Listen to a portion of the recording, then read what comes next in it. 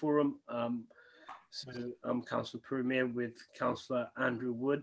So this there's a lot of interest in neighbourhood planning forums. We've had the Isle of Dogs neighbourhood plan adopted. You've got the Spitalfields neighbourhood plan going to referendum.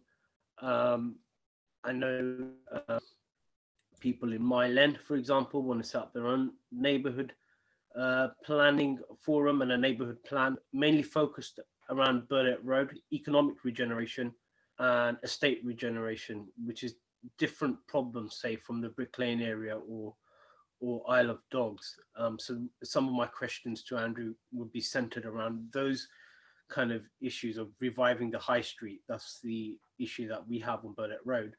Um, so um, so straight. So I'm going to let Andrew um, start know uh, before we started recording, Andrew was posed a question. So it'd be good if Andrew, if you could repeat that question, then answer it. Okay, yeah, just to sort of help Saif, because I know he sort of asked this question and not to repeat stuff that he already knows.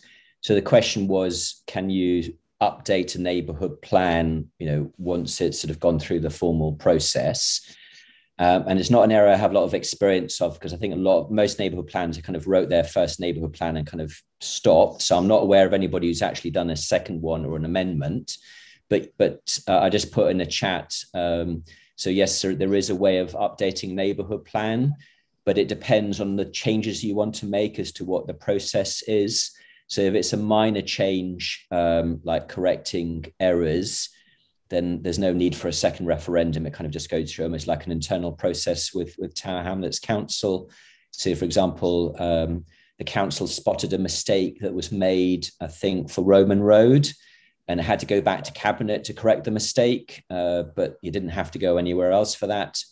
But if there are material modifications uh, which do not change the nature of the plan or order, uh, would, would require a new public examination, which I'll talk about in more detail later, but not a second referendum. Um, but then material modifications which do, uh, you know, fundamentally change a plan or add new planning policies, then it's almost like you'd have to repeat the process again um, and have a referendum at the end of that that process. Um, so it depends on the kind of changes that you want. But there is, I think, that there is a process in place uh, for doing that. Um, because I mean the government have been talking about this idea that they want local plans, uh, which is what the council write, to be updated every five years, and therefore the logic would be is that must apply to, to neighbourhood plans as as well. Um, so that yes, there is a process. Uh, the only sort of slight difficulty is that neighbourhood planning forums uh, have only got a five year life, and then after five years they have to kind of reapply. Um, and I've, I think Spitalfields, no, they did reapply. Sorry, I've forgotten that. Yeah, so I think Spitalfields have renewed their life, so they've got more time. the way it works is that um, it's the forum uh, that takes the lead on this. So if, if Spitalfields decided, or people in Spitalfields decided they wanted to do an amendment, that they have to do it via the existing Spitalfields forum because it is live and it has been recognised by the council as the legitimate body. Uh, but but yes, they can make changes. Um, so I don't know if Saif had any questions before I kind of moved on to the um, starting from scratch. So, uh, in terms of the changes, what uh, I mean, what what kind of? I mean, you said there's a limited amount of changes you can make. Um, what um, so the supplementary element doesn't really come into it. Is that right? Um, so this is so if you if you're going to make fundamental policy changes, um, like changing the nature of the plan, then you would need to go to have a second referendum, and you'd have to evidence uh, the fun, you know, the, the basis for those changes. And so, in part, the problem with neighbor, so that there's two things that neighborhood planning can can really do in terms of of the the legal weight. I mean, neighborhood planning can do lots of things, but in terms of what the legal deliverables are, one of which is to write a neighborhood plan. Uh, and the second of which is to make recommendations to the council as to how community infrastructure levy or CIL should be spent. There is a kind of third category, um, which uh, I mean, I call it recommendations. So the, the problem that the Isle of Dogs had is there were things that we wanted to do on the Isle of Dogs, and then the, both the council and the examiner sort of said, well, you you could they're not land use policies. So a good example was is that we had lots of detail about how we thought estate regeneration should go. And there is a policy in the neighborhood plan about estate regenerations, but it's not the first policy that we wrote because basically the examiners have said um, these are not land use policies. We disagreed with him. Uh, we thought they were land use, uh, but because we didn't have the money to challenge him in, in a high court, uh, and because nobody else, you know, the council weren't going to back us up, the GLA weren't going to back us up on this, is that, you know, we basically accepted that we couldn't put everything we wanted through as a neighborhood plan. So our, our neighborhood plan currently has some recommendations at the end of it. They don't carry, and there's a there's an argument with Tower Hamlets Council. So our argument initially is they carry some weight because they've gone through a formal process, they've been uh, consulted on, and people have voted on it. Whereas Tower Hamlets Council take the view uh, that they're zero weight, they can have no impact on the planning process whatsoever. So there was there's a kind of internal argument between planning officers and us as to what, if any, weight these things should should bear, and you know. Uh, should have uh, on the planning system as a whole. And there may well be a planning application that comes forward. So let's say in the state regeneration that comes forward that ignores everything that we're trying to do. And I think at that point we would then quote, well, you know, people did vote for this. Yes, it may not have the same weight and law as the the, the neighborhood plan policies, but it, it's still better than you or I sort of saying, you know, to the housing association, you should do this because we should, you know, what you can do is to say you should do this because it's gone through a formal process and a referendum vote at the end of it. Um, and that's how we try to deal with some of those conflicts between what's land use and what is. And, and the problem that we had uh, on the Isle of Dogs is our examiner, I think we were a bit unlucky, is that he did not like pushing the boundaries of what was land use at all. Um, there are other neighborhood plans who I think have either been luckier or maybe just had the right examiner who did push the boundaries of what of what land use is. But I think in our cases that we yeah we got stuck with this examiner, partially our fault because we were involved in in picking him as well, um, who just didn't like pushing the boundaries at all, even if we had all of the evidence to support that. Um, so that, that was kind of like the sort of the, the background to us. So so yes, you, you can do things, but again, it'll depend on what it is you're trying to do and whether or not you can justify it as a land use policy or not. That's really useful. Thank you. Okay. Um, yes, if I, uh, so unless you've got more questions, if I kind of go back to the beginning for Rukun's benefit and for others who might be watching this, if I kind of just go back to the beginning and kind of explain what this is uh, all about. And I just see somebody else is just joining us. So I'll wait until they're connected. Connect, it just says connecting on audio. So just give me a, um, a few seconds. Okay, well, I'll, I'll, I'll start, and then yeah, by the time I sort of do my introduction, yeah, yeah, okay, they're on online. So, so just kind of some background to to neighborhood planning, starting from first principles. So this all started uh, with the coalition government uh, in 2011. Um, there was something called a Localism Act, and the coalition government were were quite keen on involving people in the planning process more than had happened in the past. And, you know, this has been a you know wider issue. I mean, the Labour government before 2010 also made some changes uh, to do with local councils, which we might talk about later on. And it's all part of this trying to bring ordinary people uh, more into the planning system or to give ordinary people kind of more power within the planning system. Because the planning system historically has basically been well, it's the local council, it's the mayor of London, it's the government, and its developers. Um, they're the people who have a role to play, uh, councillors to some extent, but residents, you know, you can complain, but you you have no formal role uh, in the process unless you go to a planning committee and you know for three minutes you can tell the planning committee why they should reject a planning application. So the whole point of this was was to give you as local residents more formal powers within the planning system through something called neighborhood planning. It's not complete power.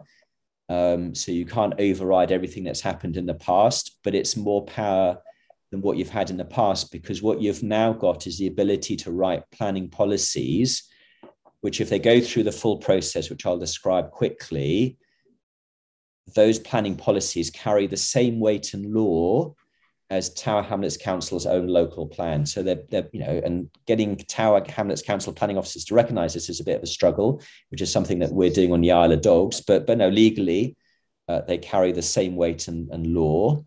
Um, they just go through a slightly different process, um, and the process is basically is that if you want to write some planning policies for your area or make formal recommendations on how to spend 25% of the community infrastructure levy, which is the money paid by developers to the council for, for new infrastructure, is you have to do one of two things. Either you form a local council for the area, which is a whole separate process, which I'm going to skip for now, or, which is what's already happened in Tower Hamlets Council area a number of times, is you form a neighbourhood planning forum. And the neighborhood planning forum is basically it's a group of residents. I think you need a minimum of 21 residents where you kind of formally to come together and you agree several things. So the one thing that you agree on is that you want to do this, that you want to form a neighborhood planning forum. The second thing you need to agree is what is the area that you want to have some influence and control over.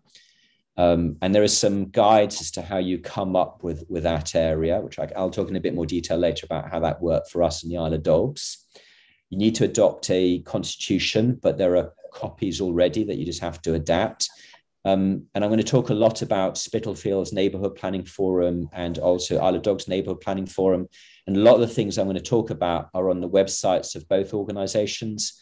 And I put in the chat earlier links to their websites and also to the to the government guidance. And I'll I might repost that later because I know if you've just joined Zoom, I'm not sure if you can see what I posted uh, 10 minutes ago. So once you've got a constitution, you've got a group of people who've agreed to form this neighborhood planning forum, and you've got a name. Uh, you then apply to Tower Hamlets Council to be recognized as the official neighborhood planning forum for that area and you can't override an existing form. So you couldn't come onto the Isle of Dogs. Well, actually, no, you could. Try it's a slight difficulty because we're, we're not recognized anymore. But let's say Spitalfields, for example, you couldn't come to Spitalfields and say we want to set up a new forum because already there's a forum that already exists. Um, but there are a number of areas across Tower Hamlets where there are neighbor, no neighborhood planning forums, but where they kind of do exist is Spitalfields, who's got the referendum on the 11th of November. You've got Poplar Ward, where Sister Christine is working on one. Uh, Isle of Dogs. And the reason why I sort of hesitated a second ago is because um, neighborhood planning forums have a five year lifespan, and, and our five years elapsed in April. So the Isle of Dogs Neighborhood Planning Forum is still trying to think about what, what we do next. And there's been a few delays. But in theory, there is a neighborhood planning forum for the Isle of Dogs. There was one for Limehouse, but they ran into some problems. And there's one for Roman Road as well, uh, which is recognized. So you go to the council with basically two things, which is one is the neighbour planning forum, and the second thing is the area. And just so you're aware, is the council can change the area if they don't like it. Uh, they didn't like the area on the Isle of Dogs. So one of the things that happened to us is that um, our area, they, they um, yeah, the mayor removed a third of our area because uh, he just basically did, not thought our area was was too big. Um, but yeah, that's yeah, it's one of the battles that we've had. So this, so just you're aware, this is not an easy process. There, there will be battles involved in this. One of the good things, though, for, for people coming after us is a lot of those battles have been resolved. And also, the government changed a lot of the rules. So, for example, for the Isle of Dogs, as we had lots of, of really long delays in our process, and some of them are fault, some of them the GLA's fault, some of them the council's fault but the government introduced some rules. So, for example, they have to make decisions within, I think, 13 or 16 weeks. That didn't apply when we started. So we had some big delays because the council just took a long time to make decisions. And they can't they can't do that anymore because the government have put these timetables in. And then hopefully what happens is the council then of say, fine, we recognize you as the planning forum for uh, this area. And then what you then do is you write a neighborhood plan. Uh, and you will get help from government as well. So if you apply to government, is they will give you some consultancy support, so some free consultancy report. And I think you can. I think it's eighteen thousand pounds now. Uh, you apply from a grant from government, and your neighbourhood planning forum will be paid eighteen thousand. I think it's seventeen or eighteen thousand pounds by the government to help pay for the costs of this. Um, and there are different ways of doing this. We, we, took the decision to do this all ourselves. So we spent that money on kind of legal expertise and printing costs um, and kind of various support packages and the website.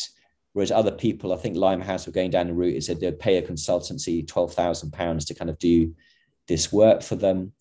Um, and at the end of this process, you, you write a neighborhood plan.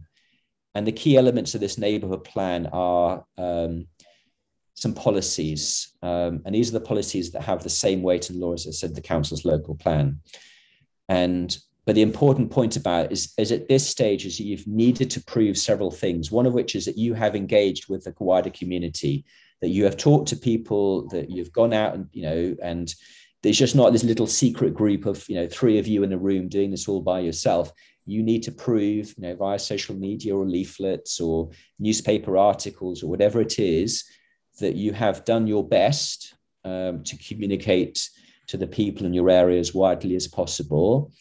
And that when you write your policies that there is a you know evidence behind why you need that policy. So for example air quality i mean that's a relatively easy one. There's lots of evidence for air quality. Uh, we wrote some policies on construction management because basically developers don't manage construction very well but we had lots of evidence of that in terms of pictures and written evidence and all the rest of it um, and you end up with this formal document which is a neighborhood plan with all of the evidence behind it. Uh, you then have a six week public consultation where you then have to, to consult statutory bodies. So, for, for example, for us, Thames Water, um, you know, Southwark Council across the water from us. Um, so we basically had to prove that we consulted all of those people, they fed into us, and at the end of that, we made some rewrites. We then gave the neighbourhood plan to the council who then did a another six week public consultation. Uh, and these are all laid out. Uh, so there's an act of parliament. So everything I'm talking about is set out by government. There's an act of parliament that sets out the rules and how this all works.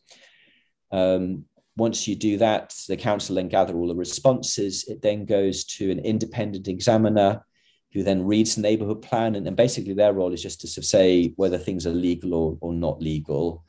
Uh, so they think you're doing something illegal, they'll cross it out, but they'll probably just suggest some amendments.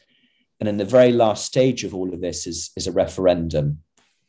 And in the case of Spitalfields, oddly, because it's a business area and residents, they've actually got two referendums. One is for businesses and one is for residents. Whereas for the Isle of Dogs, it was residents only. And then for the Isle of Dogs referendum, we had ours in May after delays because of COVID, uh, and we had 86% support. Um, so across London, I think there's been about 18 of these referendums so far, and the average yes vote is about 88, 89%. Um, some higher, some lower. So, you know, it shows that there is a lot of support for doing this. Um, and now what we've got for the Isle of Dogs is an approved neighborhood plan. So any future development, so when a developer submits a planning application in future, another point I should have said, um, when the examiner finalizes their report, it's from that date onwards that actually the neighborhood plan has a lot of weight in the, in the, in the planning system because I think out of the three or 400 referendums in the United Kingdom, uh, 297 have been yes votes and only three have been no votes. So by the time the examiner says your plan is okay, uh, it's pretty much automatic pretty much that you'll get a yes vote uh, from residents, unless you've done a really bad job and come up with policies that local residents really hate, in which case they're going to vote no. But the whole point of neighborhood planning is that you're doing this with your community. So why would your community vote no if you've done a good job on consulting them on the neighborhood plan? Um, so now the, the Dogs neighborhood plan, so any planning application that comes forward uh, has to prove uh, and this is a battle for the Isle of Dogs, by the way. When I was talked about battles earlier, this is the battle that we're now at. Is that you know they have to evidence that they are compliant with a neighbourhood plan, and if they're not compliant, if they're doing things contrary to what's in the neighbourhood plan, that's then grounds for rejecting the planning application. Because the whole point of a planning system, in theory, at least, um, is you have planning policies and planning officers have to weigh them up and then the decision you know so there's a big out planning application the councillors and the planning committee have to weigh it up and if the planning policies sort of say no then they should reject the planning application Uh, we operate in an environment in Tower Hamlets which is very pro development. Um, so that can be a difficult battle. But the thing about a neighborhood plan is that, you know, as I said, it carries legal weight. It's gone through a formal process.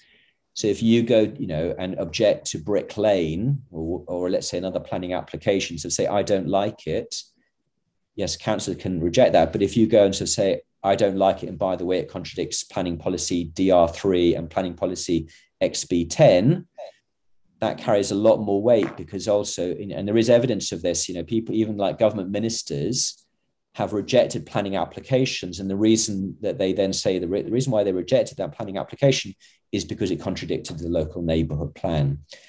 So um, this is why it gives you a lot more weight uh, than just you as an individual, even you as a group, saying you don't like something because you can say you don't like it because it contradicts something that's gone through a very formal and legal process backed up by uh, acts of parliament and backed up now by common law because there are lots of examples of when they where planning applications have been rejected in part or wholly because of what was in a, in a neighborhood plan. So that in a nutshell very quickly uh, is what neighborhood planning is is is all about. And, and the other th- power that uh, it's got is the ability to make some recommendations to tower hamlets council where the 25% of community infrastructure levy should be spent so, for example, on the Isle of Dogs, uh, ASDA got planning permission. Uh, if it gets built, it will pay Tower Hamlets Council 43 million pounds in community infrastructure levy. 25% of that, so just over uh, 10 million pounds, uh, is where the Isle of Dogs neighbourhood planning plan has a role to play in terms of recommending where that money should be spent. Um, and then we were talking at the very beginning, I know some of you just joined after this about this idea of recommendations. So inevitably there'll be things a community will ask for, which you can't write as a planning policy because they're not land use policies. Um, and there are some things which are on a dividing line. And, and we in the of Dogs, we tried to push that dividing line and weren't allowed to, but it may be that, you know, other people may want to try and put things just over the boundary and, and you may be luckier to do that. But what we did in our neighborhood plan is we made some recommendations, for example, on estate regeneration about how the voting should work for that, because people have done a lot of work. Um, and recommendations, according to Tower Hamlets Council, bear no weight whatsoever in the planning process, whereas our argument was recommendations have gone through a formal process of consultation, they've gone to a referendum, they're in that neighborhood plan, and they carry some weight, even if it's only a public relations weight. So so you know it's still worthwhile you know having some of these recommendations in because you know they may be useful one one day. Because um, again it, it has more weight than if just you or i to say well you should do this. We can say well you should do this because actually it's a recommendation in the neighborhood plan. Um, and that makes it just a little bit harder for people to ignore it. Okay so i'm going to um, stop at that point because i've been talking for a bit of time um, so in, in the chat, as I said, I've put links to, to three websites, one of which is Spitalfields Neighbourhood Planning Forum, Isle of Dogs, uh, who've, you know, gone through this whole process, and also then to the government um, website about neighbourhood planning, which is quite a good summary from government as, as, to how it all works and what the rules are. And then it has links to the evidence just to prove uh, some of the things that I'm saying. So okay. I'd, I'd like to comment with a question, um, Andrew. So you've talked about how neighborhood planning forms and neighborhood plans can stop things happening. Mm-hmm. What about enabling things, other things to happen? So I, I just want to give two issues we have, which I picked up as a councillor in Mile End, is we have a very long high street, which is Burdett Road, yeah. um, which has quite a lot of independent businesses. Um, it has been going, there's been a slow decline in that shopping parade. Mm-hmm. Uh, it has as many businesses as Brick Lane. I'm just counting them up. Um, so we want to revive that shopping precinct. It used to there used to be a market there, mm-hmm. the market. So the retailers thinking about can we get the market back to increase footfall, etc. In the area is strategically located east, west, north, south. It's, it's a transport junction, so a specialized market on a Sunday uh, might work there. Um, the other aspect we have is there've been huge, there's massive estate regenerations uh, happening.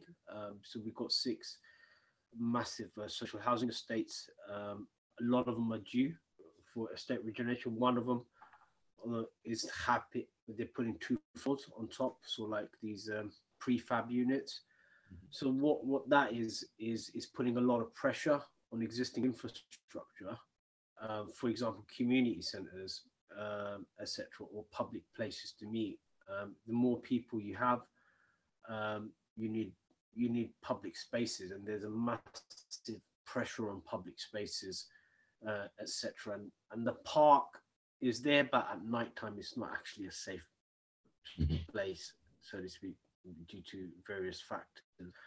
Um, so so so those are the two issues. So a lot of so what can say a neighborhood plan uh, plan can do to enable say a revival of the retail space with a market uh, and additional sort of like civic spaces in the area again to increase footfall okay so i'll, I'll talk about the burdett road one first so what you can't do in a neighborhood plan is sort of say is there will be a market on sunday between nine o'clock and three o'clock in the afternoon because that's not planning related directly um, there's a different sort of um, sphere of activity but what you can do in a neighborhood plan is that you can sort of evidence the fact that there's been a decline in business. A lot of neighborhood planning forums across the country, especially outside of London, very much focused on their high street. So you'll find, well, actually, there's one in Ealing. So, for example, the Ealing neighborhood plan was very much focused about restoring Ealing as a kind of central shopping um, center. Uh, and that was a business and resident sort of led one as well. I haven't read it in a long time, so I can't remember exactly what their policies were. But the whole point of that neighborhood plan was about rejuvenating Ealing sort of town centre as a whole, because again, it was suffering from some of the, the same problems. So what you can kind of put in the neighborhood plan will be things, you know, evidencing the problems and so saying, you know, any future planning applications that come forward in the area need to support the recreation of the market and need to support businesses. So if a planning application comes forward, that makes it even more difficult to restore the market, then that would be grounds for, for dismissal. But in a more positive sense, one of the things that you could kind of put in there would be, you know, like a map that sort of says the market is going to go here. And, you know, talking about the CIL recommendations as we want more lighting uh, and we basically want the CIL spent to create a marketplace.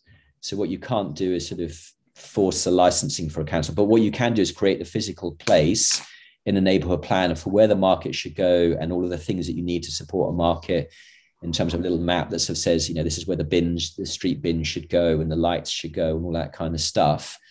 Um, and the servicing requirements of where the vehicles should come and park. So all of the kind of so land use is about the use of land. So anything to do with how you use land for the market, you can definitely put into a neighborhood plan. And you then put the recommendation in it sort of says to the council, you know, please support us in doing this plan. But again, you know, what the neighborhood planning forum can do is, is bring the community together and the businesses that say, we want this. And it may be that actually some of the ways of doing this aren't through a written neighborhood plan, but you know, as an official body, being able to go back to the council to say, can you support us with this neighborhood plan? Because you know, you've got your own powers, your own talk, you've got there's a streets market team at the council. Can we work with you to do this stuff? So it may be that you could do a lot of things without even writing a, a neighborhood plan itself but yeah, I mean, there'll be lots of examples in other neighborhood plans of people wanting to protect their high streets and, and to encourage more businesses. And, and I think that's the other point about neighborhood planning is that they're all different. I mean, there may be some common themes, you know, like the villages in Yorkshire probably have some common themes about their neighborhood plans, but the Spitalfields neighborhood plan has very different policies from the Isle of Dogs one, and they're probably very different from the Ealing one. But you will find examples of other policies elsewhere which you know may be useful. So, for example, the air quality policy and the Isle of Dogs neighbourhood plan was basically a copy of the was it the Westminster neighbourhood plan because basically it's the same issue. In terms of estate regeneration, I put in the links just now a link to uh, the Greater Carpenters um, neighbourhood plan. So the Carpenters estate is not far from us. It's in Newham. It's an estate just to the south of the Olympic Park and it was a housing estate that's very worried about estate regeneration and they've had long historic battles with the previous mayor of Newham, and I think even the current mayor of Newham, and I don't know the full detail, but they have actually written an estate based neighborhood plan. Um, and from memory, there's actually a map of how they want the estate to, to be transformed. So there's a map of what the estate looks like today, and then a map of of where they want the improvements to happen in the future. And because they didn't want like everything knocked down, they, they were much more in favor, I think, of the idea of like infill and just sort of some additions rather than complete demolition. So their map is very much about keeping some of the blocks, but adding some stuff on the side to help pay for it. And then where the new community center would, would go. So that would be a really good neighborhood plan to look at in terms of how they, and I know there was, I think some professors, I think they had a lot of help from University College London's uh, Bartlett School of Planning. So they were different from us in the sense that they, had some really professional support in their neighborhood plan, at least at the beginning, I think from memory. So that would be a good one to look at. There'll be things in the Isle of Dogs neighborhood plan which will be useful. So there's a policy in ours about trying to encourage ballots. Um, and I know the Mayor of London is already encouraging ballots, and our policy kind of re- reinforces that. Uh, so before there's any kind of, you know, and for, for, on the Isle of Dogs, our big housing association, one housing group, in the end, they they agreed that they would only hold ballots in the future. But there was a period of time when they weren't promising that, which is why we did lots of work on the state regeneration ballots. So again, you could copy the policy from the Isle of Dogs plan, um, as well as look at the Carpenters one as for ideas. Um, and I think in particular, my recommendation that would be is, is actually you come up with some maps that you co-create with people in your states as to what they would like to see in the improvements and, and which buildings they want to preserve and which one, you know, because you know there are buildings on the Isle of Dogs where residents of those old buildings want them knocked down. They want them to knock down ten years ago, and they're actually frustrated that those buildings haven't been knocked down. But then there are other buildings where people really don't want them knocked down. So again, you know, this is where you can have conversations with local people and, and put stuff in your neighborhood plan based on what local people want. That's the whole point. The whole point of neighborhood plans is it's meant to be local people writing this stuff. That's cool. And and how have you how how's the CIL money? Um, because obviously you're quite advanced. You've got your plan now. Um, how does that work? So a lot of people have asked me up the um, twenty five percent. Mm-hmm. Um, how's that uh, um, spent? Um, have you come across that because you're quite advanced on the Isle of Dogs? Just yeah.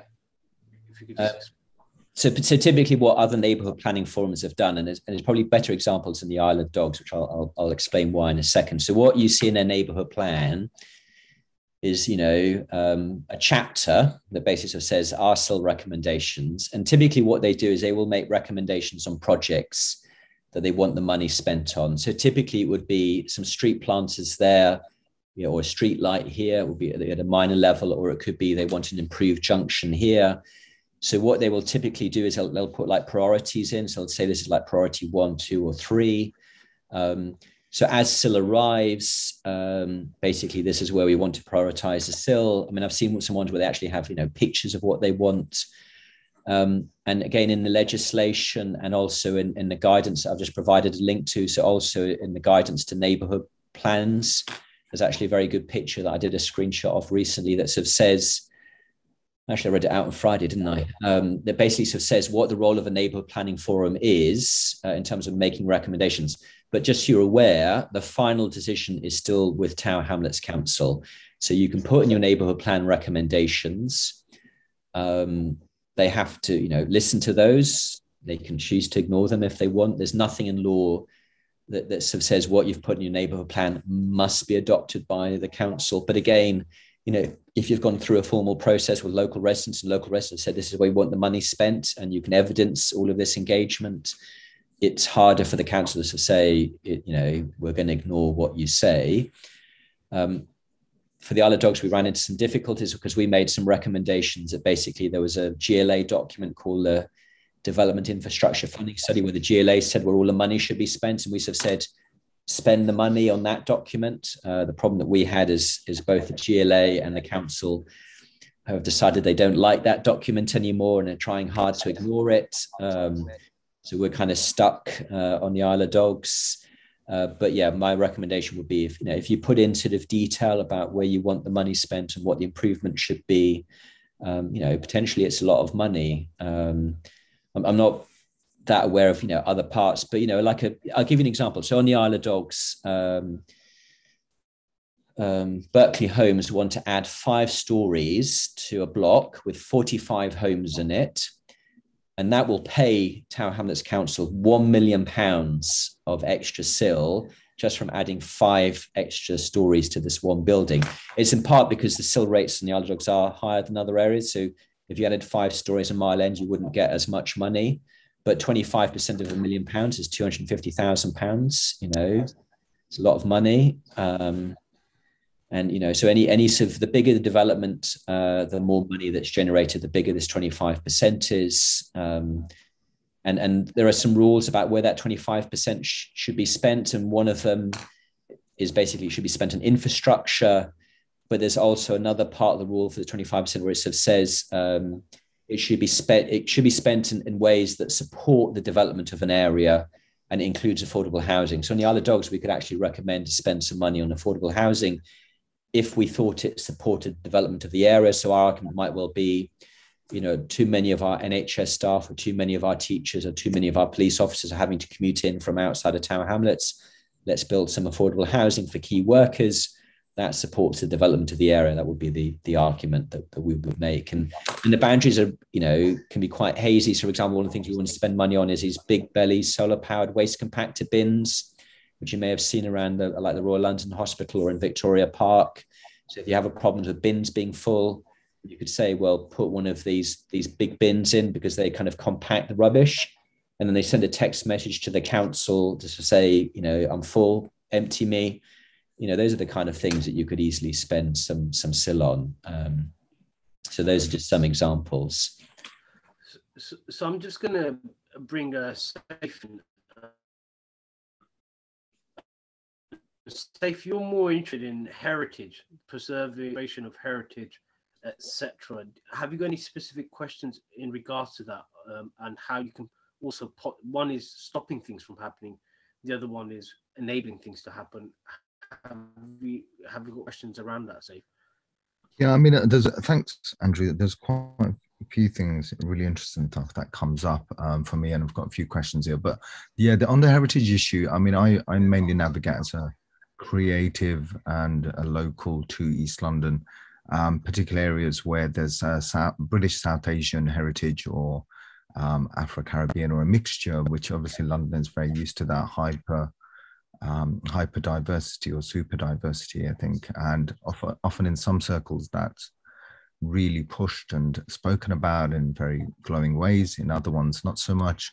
Um, but in planning, a lot of these communities um, who, in some areas like East London areas where there's ethnic majorities, there's um, people are feeling increasingly that their culture or cultural heritage um, is being eroded, partly because the planning system, I think, what I've found is is pretty inflexible at certain places. Yeah. Probably why actually these these neighborhood um, plans are really needed. Um, but I mean, what's been your experience with engagement with these communities?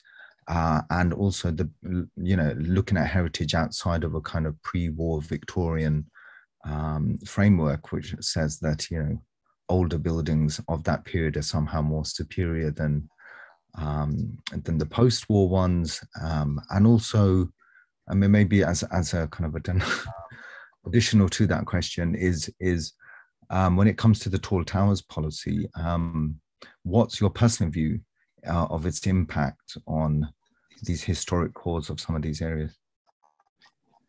Okay, uh, so several questions there. So first of all, I, I, forgot to say two things quite important. So thank you for asking the question. So the first thing is two other things that you can put into a neighborhood plan, and, and we didn't do that on the Isle of Dogs for a whole bunch of reasons, but but that might be in our second neighborhood plan. So in a neighborhood plan, you can designate or allocate your own heritage assets so, for example, um, I'm, I'm, always I'm always surprised when I look at an older building or a building that I think is important. When I actually look at the protection for that building, quite often actually there is no protection in the planning system for that building. So whether that's you know a pub which is 120 years old, or we've got a pumping station in the Isle of Dogs which was built in 1926, you know there is no protection whatsoever for those buildings. They could be like a modern shack, you know, um, and and also I think in terms of um, Heritage England, uh, we tried to list the pumping station, and they're just resistant, and the council are resistant, which I don't understand why because also the, the council can also add these heritage assets to their own, I think it's called the local list. And they seem resistant to doing that as well. An example of the pumping station. But what you can do in a neighborhood plan is you can say that building or that site, it's important to, to us, to our community. You have to provide some evidence. You can't just sort of say, we, you know, we want to protect it. You have to sort of say, why it's important and, and, why you want it to be protected. But you can definitely do that in the neighborhood plan. You can also do that with green assets as well. So, for example, you know, there's um, on the Isle of Dogs, there's a bit of Transport for London owned land, which is just kind of wild and overgrown. One day I know they'll want to build in it, uh, and we're not keen on that. So, our next neighborhood plan might say that bit of greenery, um, it has no protection, it's not a park. So there's this thing that there was this place in the Limehouse Triangle where it used to be the state guard, uh, maybe bats in it, and the council just, you know, not, well, they, they, they, they sort of cut down all the trees one weekend without telling anybody. They just came in and cut down all of the trees, and, and they were very mature trees, and are now building on it. And, and the argument was they could do it because that green space had no protection whatsoever. And, you know, even though people thought it was a park, it, it wasn't in planning policy. So again, you can designate your own green um, assets.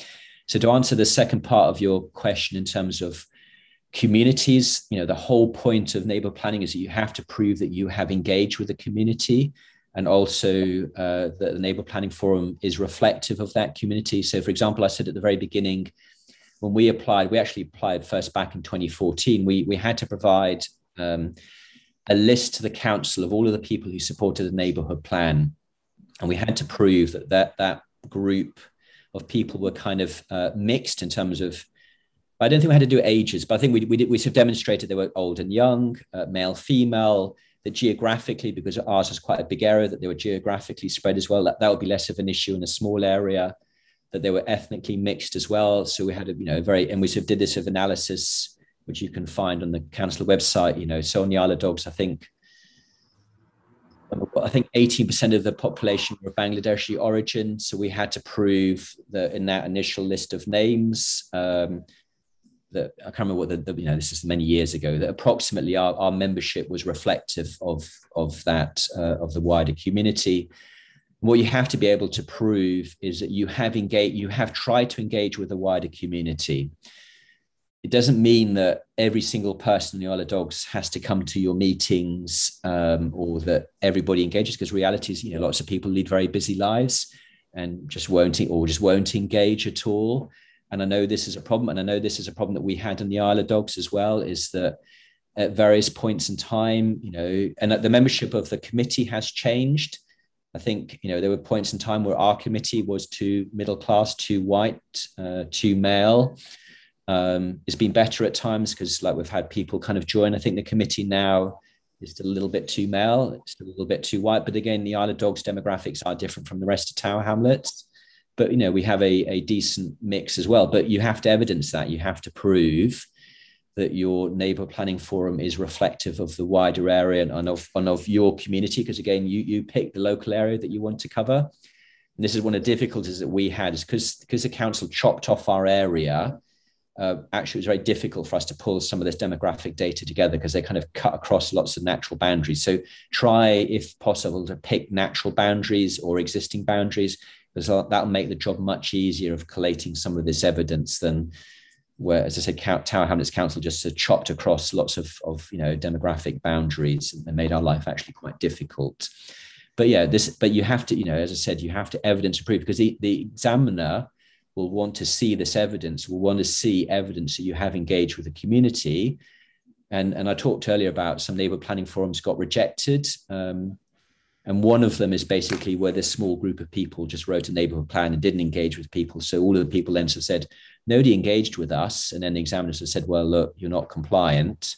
So in the end, that's why that neighborhood plan failed, is because they didn't engage with the wider, community, or there was no evidence that they tried to engage with the wider community.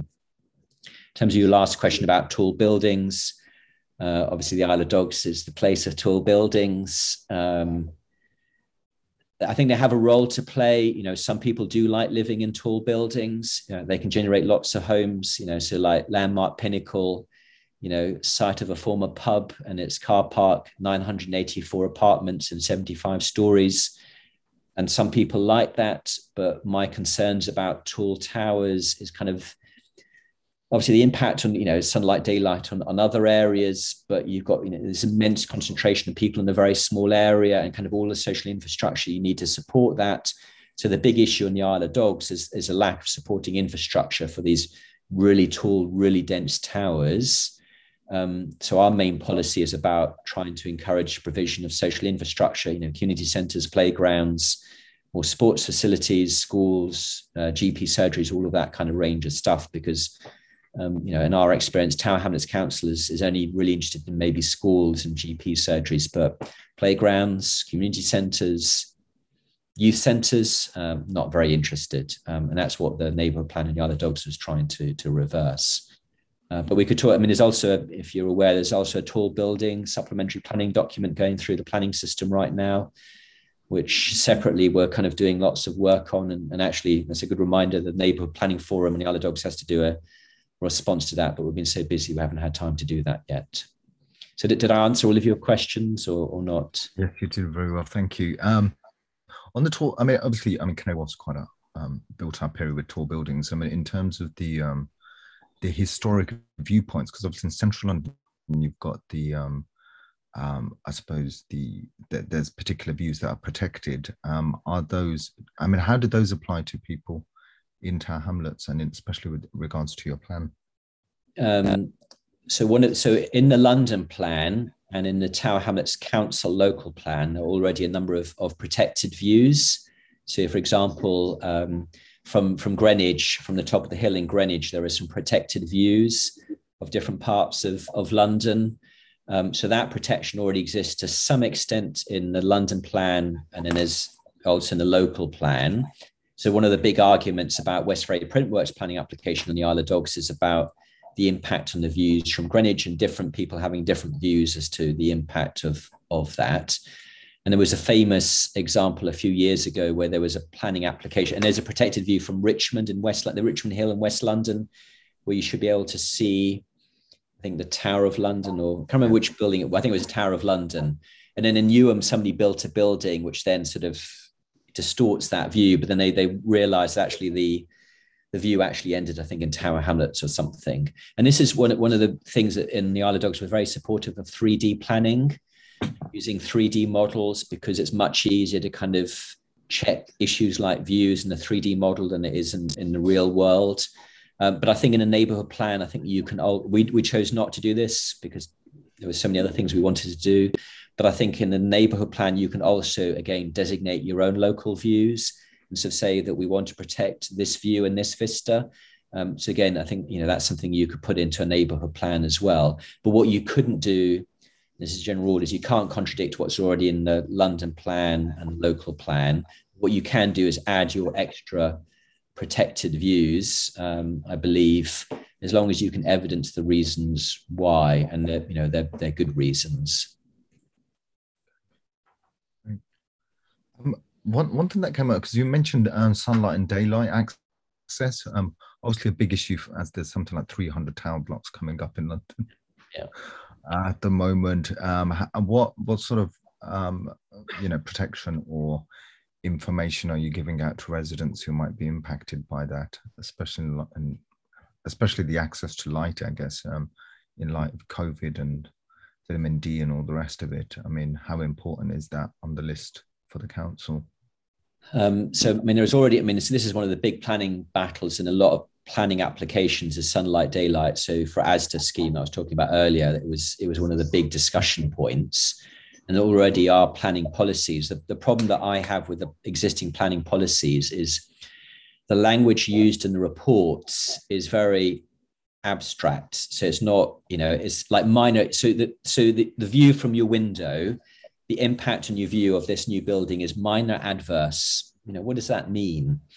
And, and the way it's presented in a lot of these reports is like it's very, very detailed. And, and it's basically these words of like, you know, 89% or it's a 4% loss on, you know, on a March afternoon, or else uh, the impact is minor adverse. So I think it's very hard for decision makers to understand what does major adverse actually mean uh, for people. So what a neighborhood plan can't do is you can't contradict. So there is already planning policy about this. But one of the reasons why we were, so keen on this idea of 3D models is what you can now do is you can go to a planning committee. So if somebody sort of says, well, what does minor adverse mean? You can fly, you can go in this in this model, this online model, you can go to the bedroom or window where this is impact, and you can run a kind of like 24 hour view of what what happens to the sun with and without this new building.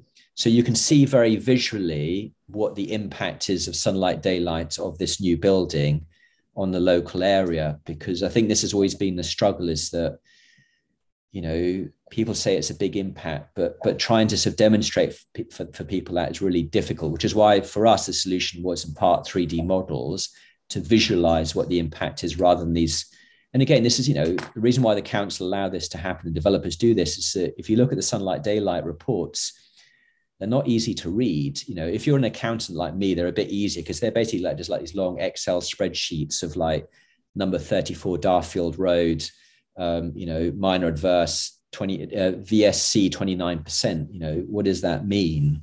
Well, VSC is vertical sky component. But you know, if you don't know how this stuff works, it's really difficult to understand, which is why we like the 3D model because then you can actually see what it what it means. Great, thank you. Um, but yeah, I mean, it, you know, so in terms of neighbor planning, so you can't contradict an existing planning policy because they've come first. So it's based on this principle of who comes first and part, or you can't contradict strategic planning policies. But that doesn't mean you can't add detail and I think in particular, if, especially if you've got a smaller area, and if we do an Isle of Dogs neighborhood we're going to do much more map-based stuff. So we're going to do much more stuff based on maps. So for example, one of the big problems that we've had locally is when you put up a new building, is your mobile phone reception starts to be impacted because you've got a mobile phone mast here and the building blocking the signal here. So one of the things that we're going to do is, and we, we did do lots of work in this and we kind of just lost, you know, just took up too much time. But one of the things that you know we we might do in the next neighborhood plan is kind of do something based on building sites and mobile phone masts and kind of say you need to think about buildings and the impact on on mobile telephony and you know internet access and all the rest of it because TV reception is an important principle um, in local plans. So any planning application that comes forward nowadays um, has to demonstrate it won't block radio signals from a TV antenna. Whereas today, for most people, I think you know that is more important than their um, antenna for their uh, t- television. Um, so that's something we, we could have done more work on in terms of um, locations of, of buildings. And, and part of the reason for doing that was also deal with the sunlight daylight issue as well. So, so uh, Andrew, just want to come back um, on on sort of like moving from the specific questions, moving away from the specific questions, Saif. General question: What are the timelines? Uh, look, just imagine someone decided tomorrow they mm-hmm. wanted to set up a neighborhood uh, planning forum. What is the time scale are we looking at from that decision mm-hmm. to say a referendum on a neighborhood plan? Um, so you have to go through a couple of big hoops. So the first of one, which is to set it up and that's kind of you know from the of Dogs we did it pretty quickly. Uh, you know I think we first meetings in August uh, and then we had our application in by the 1st of December. And also because in those days there were only two application windows a year which is completely illegal but that's what Tower Hamlets Council was doing in 2014 uh, they can't do that anymore because of these new government rules.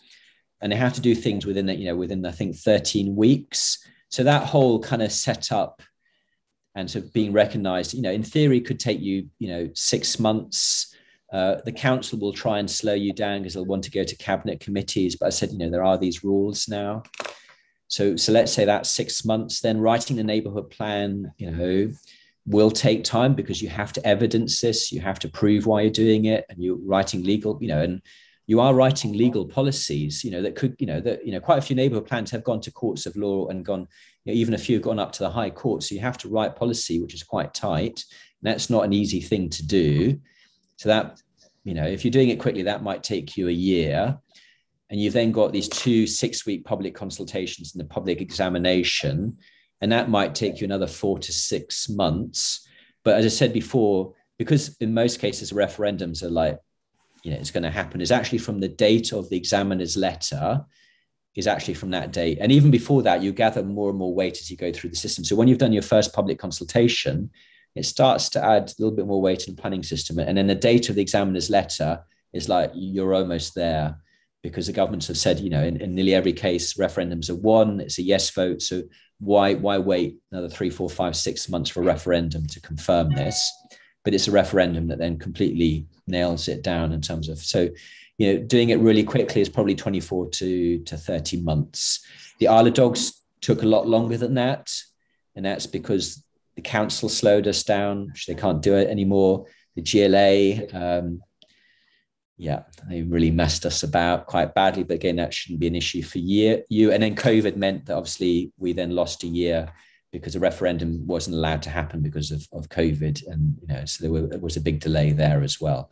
But in theory, these, these shouldn't happen for you. And, and because Spitalfields and Isle of Dogs have gone before you, council know more about this process. It's not new for them anymore. You, you, know, you can copy some of the things that we did. You know, you can copy our constitution and maybe a few things you might want to change. So you don't have to reinvent the wheel anymore. There's more money from government than when we first started. So, you know, it is possible, but it's not something you can do in a couple of months either. And, and this is the other key issue is that this only works if if there's a small group of people willing to just push it through for that for those 24 months 30 months or at least to because uh, once you've done your your your consultation there's not that much more work after that in theory it's the council who do most of the work after that point so um, and that's why Lime, um, sorry, why Spitalfields and Isle of Dogs happened is because you had that small group of people push, push, push, push all the way through to to make it happen. So cool. Um, and just a final one. Um, there's a, there's this new movement called Yimbys, mm-hmm. um, um, who are quite active in promoting development. Yeah. Uh, I, th- I think a lot of them work in Westminster or linked to Westminster we have a large growing segment in Tower Hamlets now. Um, some of them are quite active in the local Labour Party in quite prominent positions. Yeah. Um, how do you protect? How how does a neighbourhood planning forum protect itself from an attack of the Yimbys, so to speak? Or do you have you had any experience or? Um, I'm I'm kind of surprised that the Yimbys to call them, you know, and, and, and to be fair to them, you know, we do need to build more housing in, in London. You know, there's no issue about that. The issue is about how we do it, where we do it, and whether we do it with the community and whether we bring the community along and, and show them the benefits of development. And because on the Isle of Dogs, we just don't see much benefit from this stuff. Um, especially because most people can't afford these new apartments. Um, you know that's why there is there is opposition. Um, I think I mean, Roman Road is an interesting one because some of the people behind that are kind of work in the architectural field. And, and what happened actually, what, happened with Wapping?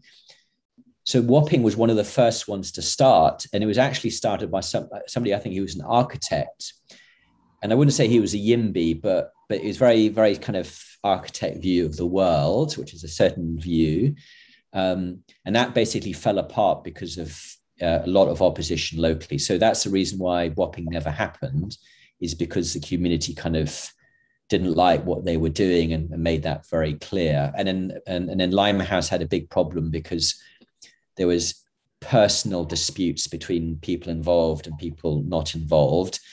And then when they tried to reapply for an extension for five years, those disputes came to the front, so they didn't get recognized again. And, and one of the issues as well with Limehouse was the argument that people pushing the neighborhood plan weren't reflective of the wider Limehouse community.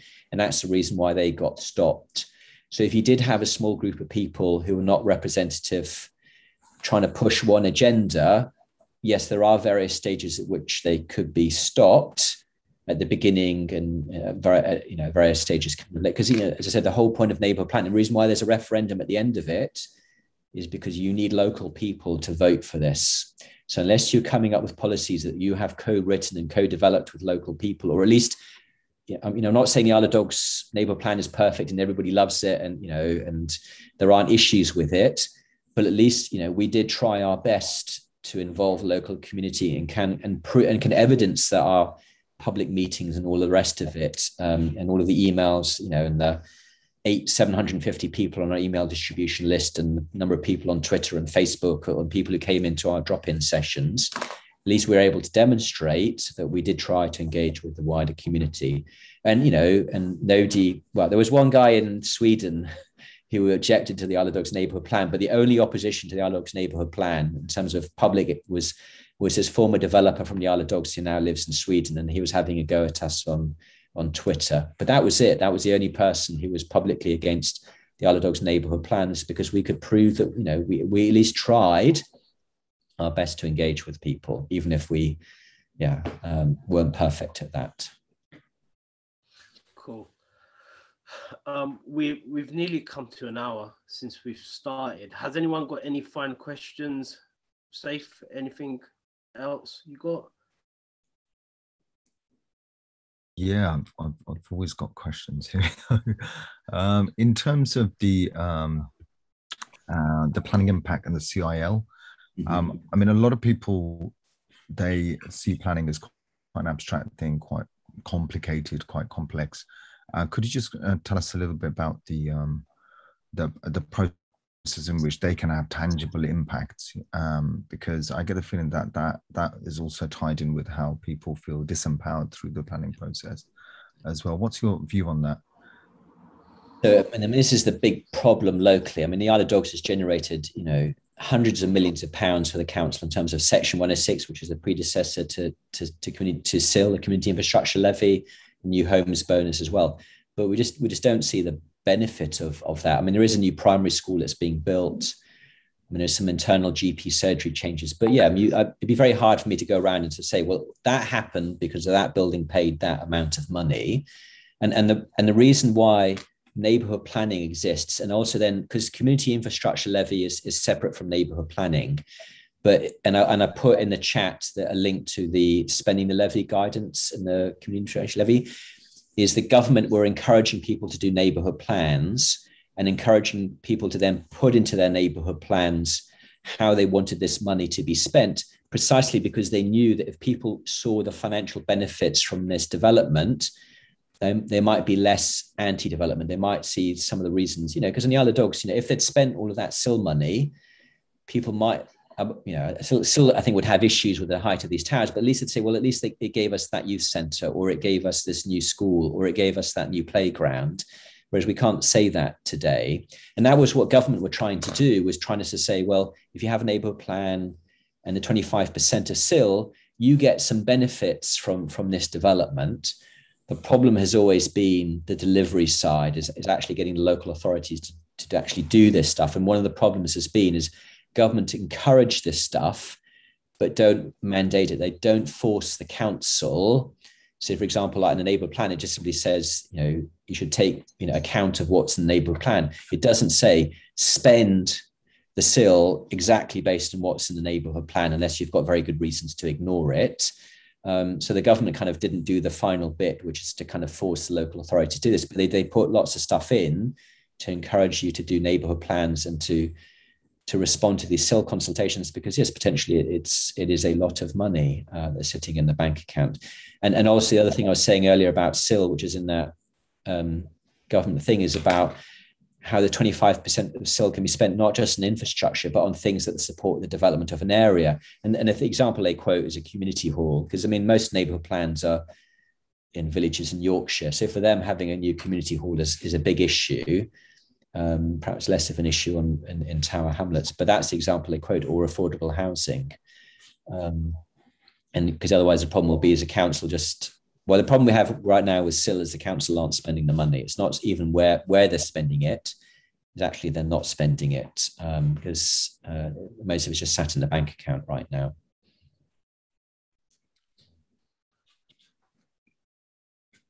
Cool.